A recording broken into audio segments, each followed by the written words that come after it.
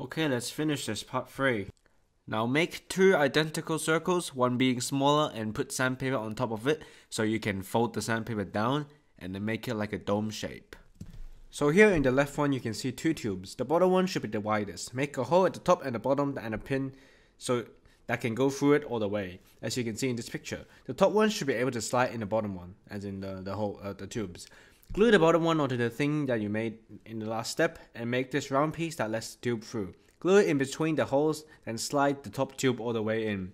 Keep in mind that there should be a little edge that goes above it and then mark where the hole is, like with a pencil.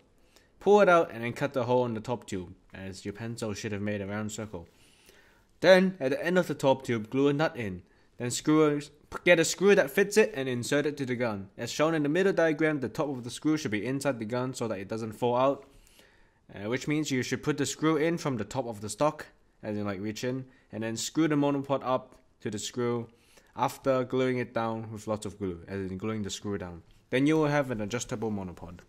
This is what it should look like uh, when it's extended and in the gun. Now cover the corrugation at the bottom as you can see right now. Remember the ring around the screw should be able to fit your top tube and the bottom tube in when it's like uh, retracted and in the gun so you can you can screw in all the way. Now for the rail on top. There are three kinds of rails ranging from difficulty. I already made a video about this subject so go watch that. It's just 3 minutes, won't take much and it will save me time explaining it. Link in description and on the card on the top right corner right now.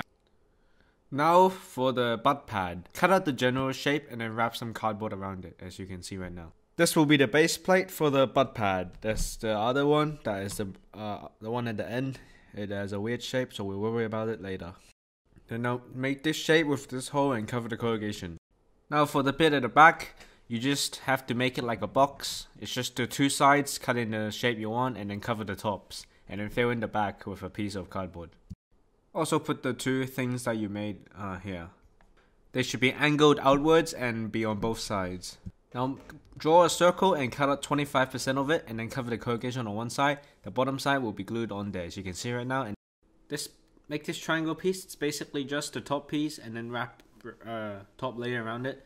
And then you have this and then trim it down so it's like a triangle. And then stick it below that thing and then make that hole above the, above them as well on the receiver. Now let's finish the barrel. Basically, to make it longer, because you probably don't have a meter long paper, to roll up. Will, it will also be very hard to roll up. So basically, yeah, you go to the end, make a tube that is slightly smaller, but it's very tight on the bottom barrel.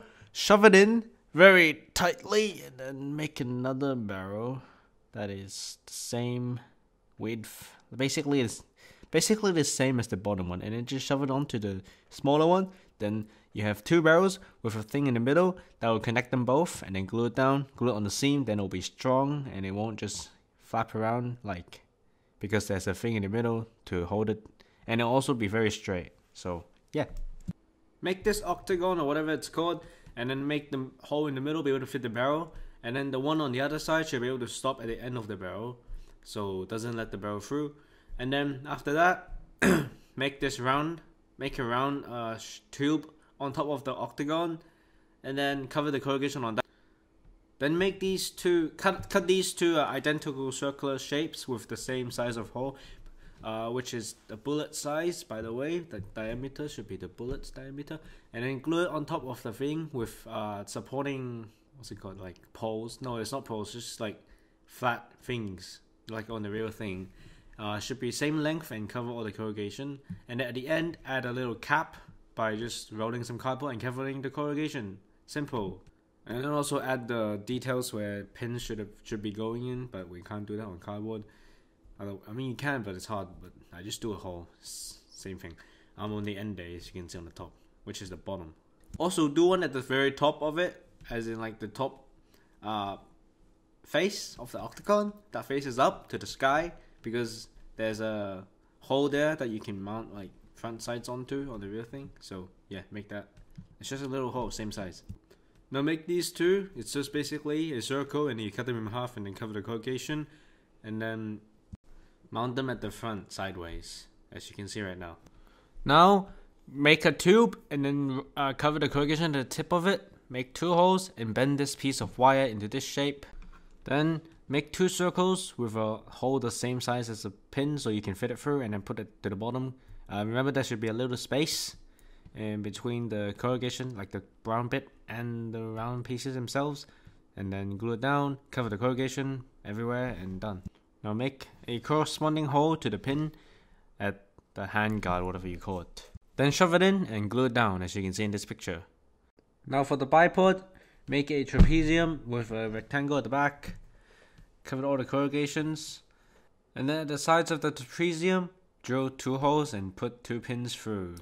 Then roll up two paper tubes and then put the tops of them inside, like make a hole at the top of them, and then put them through the pins, and then make another hole at the, like a little bit outside of the thing, as you can see at the bottom. Uh, then put two pins through, that will be where your rubber band goes through. Normally on the real thing, it will be the spring, but I don't have that kind of spring, so I'm using rubber band as a substitute.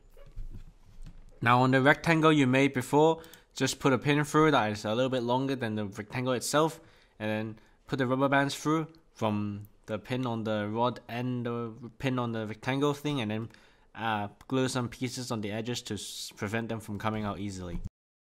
Now if you are like me and scared of these rods falling out, you can also add this triangle thingy, just be careful to not accidentally glue the rods in. It was very hard for me to glue this together, but it works so it's fine.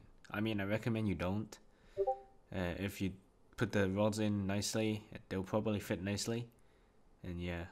And then also put this top piece, as you can see there, to limit how far it can go when it's folded up. And yeah, make this piece strong. Now just glue it on, simple. Here's a bottom view of how it's glued and how the pins should look like and all that good stuff. So yeah. Now for the front shape thing, I didn't really care about it because I'm not going to use it for anything. I just made two of these shapes and then you can see on the right side there's a piece of top layer. I just do that and then wrap it around. And at the front bit, uh, the front piece I mean, uh, I added this half half of the shape so make it have that step and then I just wrap the whole thing around and then put some holes at the side. And of course cover the corrugation at the front. Now make a bunch of paper pins with the uh, edges, I mean the tops and the bottoms covered with cardboard and then do a little black dot with like a marker or something. And for the bits that you can't reach in, as in like reach a pin all the way through, you'll uh, make just like a circle and then add some, uh, I don't know what to call it, like weights? No, it's not like, like, like things at the bottom of it to make it come out and not just sit at the bottom. So yeah. So yeah, at the places where you can just shove the pin through, just do that. And you can see the sides now all filled in, the holes. And then at the place that's so you can't, for example, the place where the trigger box is or nearby it, you might have something covering it, then just do, uh, you know, as I've just previously, pre- previously said, do a circle thing and then put something under it so it comes up flush, not flush, but like a little bit in, but not too in if you know what. Now for the cheek rail pins themselves, we're gonna make them now. Make these holes, uh, I mean shapes, circles. All of them are circles. Um, the right ones on the right, the, uh, each three, as you can see there, the top three, on the top right, the three of them is one set, and then the bottom three on the right is another set, and then the four on the left is one set. Um, the ones on the right will be on the right side of the gun, and then the one on the left will be on the left side of the gun. So basically, you stack them together, and then you put the one that has a ring inner ring, cut cut the inner ring, cut the inner hole out. Then you just put the outer ring on top of the thing, and then cover all the corrugation, and done. You have a pin that is detailed.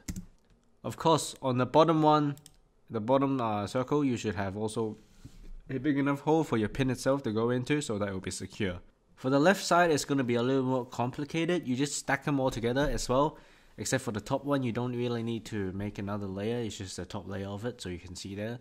And then make another hole in the bottom for the pin. Actually, make that hole first. Like let the pin go through, and then glue it together. And then go to the cone generator and enter the dimensions, and then wrap it around after you got your template. Now we will work on the scope. First, make a tube, long tube, that will be the main body. Then make a box that will let the tube through. Shove the tube into the box, as you can see. Uh, look at your reference picture. You sh- it'll, it'll be obvious where it should be. Make this uh, box without the bottom, and then just put it on the bottom of the box. That will be the main structure that basically holds onto your rail. And then here you can somewhat see I added two little tiny strips on the bottom.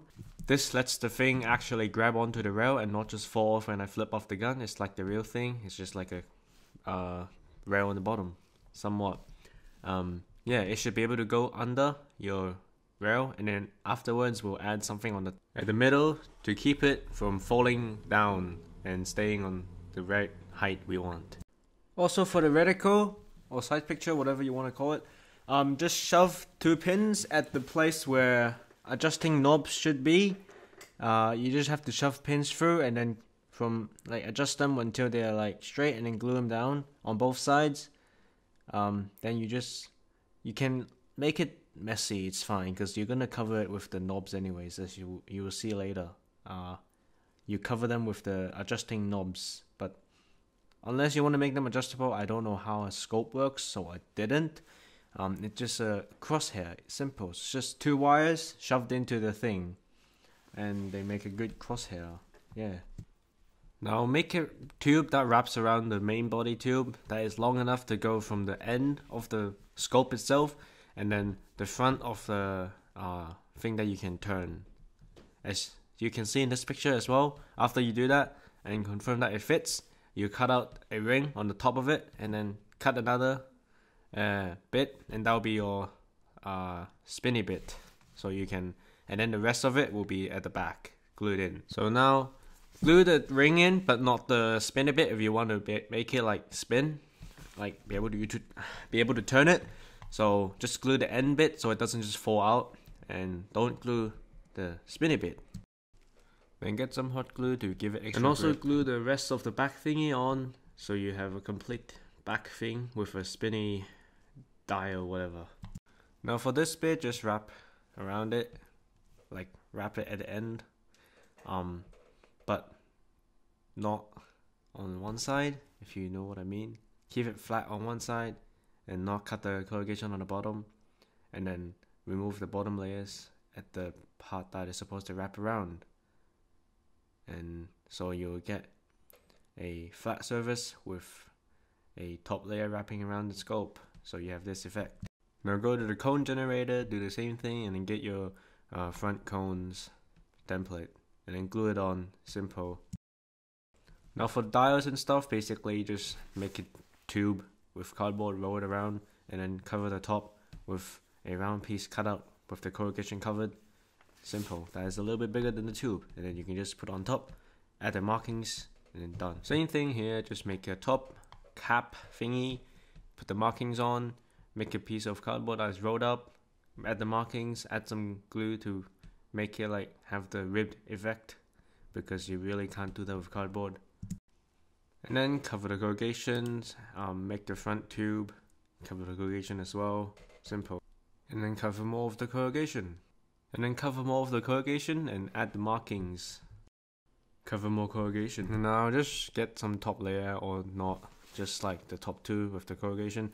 Uh, roll it around the scope on the ends of the thing at the bottom you can see on the left and the right. Um, then just glue it down and yeah or you can also do the detailed method that Magical Amazing did. I'm I'm I'm too lazy, can't do it, can't be bothered, so I did this instead. It works fine. Now put your finished scope on top of the rail, and then at the gap there, you can see I added a piece. So pull on it, like at the top. Don't pull too hard, but like so pull it so the bottoms of the bottom two rails touches the bottom of the Picatinny rail, and then slide that middle piece in and glue the ends onto it, and then done. You have your set height. Now for the final step of the scope, you make these two pins with a paper, roll up a paper roll, cap, whatever, pin, and then shove the wire in them. And then just uh, when you put your scope on top of the rail, of the Picatinny rail, and at one slot, keep in mind that you have to be careful, don't accidentally penetrate your Picatinny rail. So at the slot where it's like there's a space, you shove the pin through from the scope and then so and then you shove it through. Then after that, um, your pin will basically both of them will keep the scope onto the Picatinny rail and it won't fall out and slide out. So yeah, simple. And then add a little bit of glue in the end to keep it in. So every time you pull it out, you have to use some force. And yeah. Finally, just make just like add the text, like the markings, serial numbers, etc., etc., and done. And with that, we're done. I hope that your gun looks somewhat like mine. I hope that you enjoyed, although this was not a good video because I hate making tutorials. Um, if you want to, watch my other videos, uh, subscribe to the channel, like the video, join the Discord server, show me your gun if you actually do make it, but I doubt it. Um, support me on Patreon if you want, and all that good stuff. Goodbye. Uh, watch my other videos. I hate making tutorials. I'm like so tired. I hate this.